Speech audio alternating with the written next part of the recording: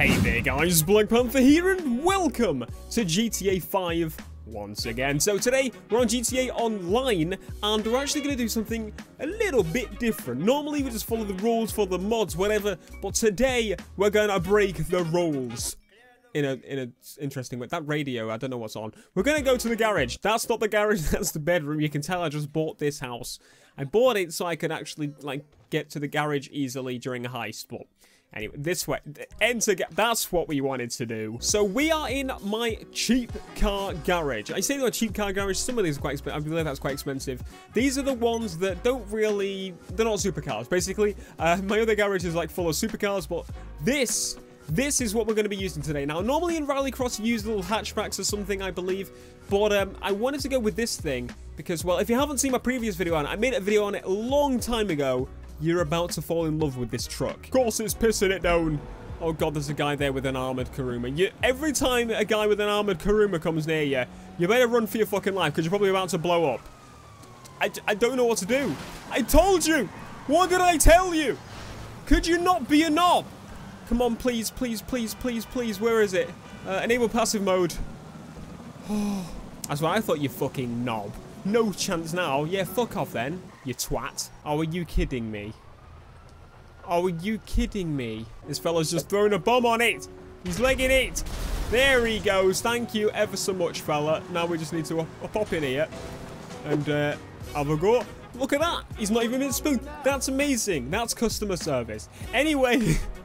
So as I said, we want to make this car into a off-roading rally car. I mean, as it is, it looks freaking awesome, so we don't really need to do much.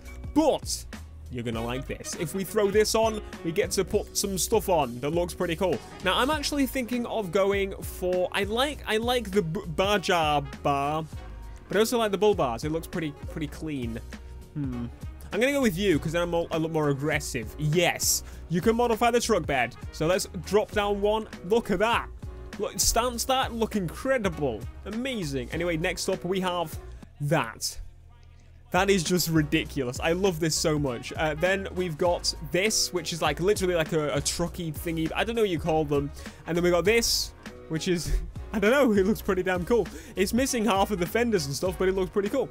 And then we've got you, which just looks amazing in itself. So uh, anyway, I'm going to keep it red, and as I said, I'm going to do all the performance upgrades right now because that's basically all there is to uh, change on this car. Also, we're going to put armor because we're on GTA Online. If, you, if you're going to put something on a car, put armor on a car because otherwise you're going to die. And then we need a, not that, not that, we need a truck horn.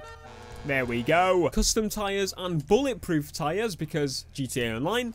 And I think with that, we're basically done. I don't want to tint on the car because otherwise it just makes it impossible to see in first person.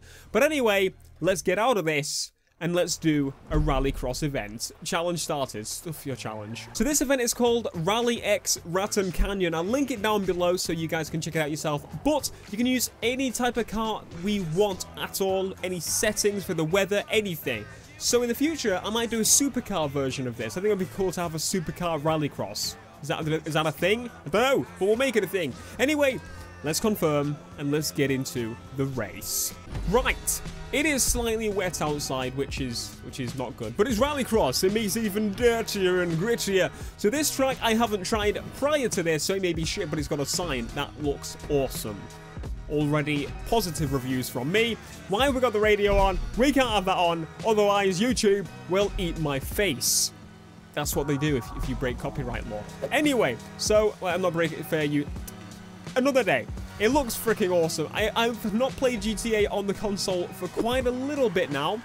And well, that was a good start. The reason for that, obviously, is because I've been doing loads and loads of mods. So I thought, why don't we go back to the OG version? I say that, we're not on the PS3. Who goes on the PS3 version? You don't get updates anymore. If you're on the PS3 version, I apologise or the 360 version. Either or. Anyway, so straight away, I'm really liking this course. It would be much better, I believe, for a little hatchback car. But the problem with GTA is obviously you can't get all-wheel drive hatchbacks, I don't believe. There's rear-wheel drive, there's front-wheel drive. I think front-wheel drive will probably do best for pulling up and stuff. I think, honestly, the supercar class would do best at the rallycross on this game, which would be pretty, pretty cool to see. Supercar rallycross with 30 people. Yes, this track, I believe, supports 30 people, I think it is. I can't remember exactly what it is. Well, imagine that. It'll be amazing. I can't remember how many players this game supports. I really need to check. It's going to bug me all the time now. It is a very nice course, though. It is majority off-road. There was another course which was majority on-road, but that's, I don't know. I'm wondering, like, if they're actually going to do the Joker lap here, because I don't know how the checkpoint system works on this, or the, the, uh, the checkpoint it is checkpoint system. Um, you have to hit all of them obviously to finish the race. So maybe they've got some part where there's a shortcut and you can't take you can take the shortcut or you can't take the shortcut. A Joker lap. If you don't know what a Joker lap is, basically it's a harder bit of the race that you have to take once per the race, which is it's pretty cool.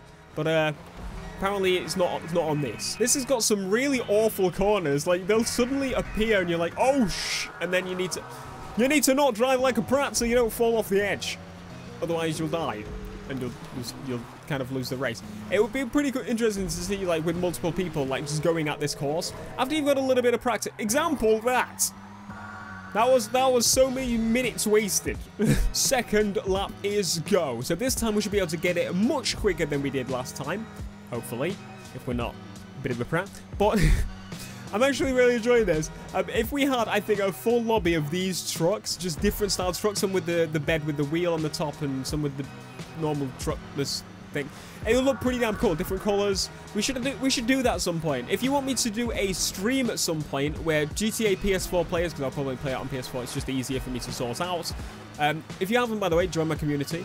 So much information being thrown at you. But if you do want to see that, um, if you want to see like a massive event with you guys and me and Matthew and just different teams color color base wise, then uh, be sure to let me know down in the comments. I might set up a stream to do that very soon. I think that'd be pretty cool. I'm actually interested in doing that idea. Attempt to whip the handbrake while in first person.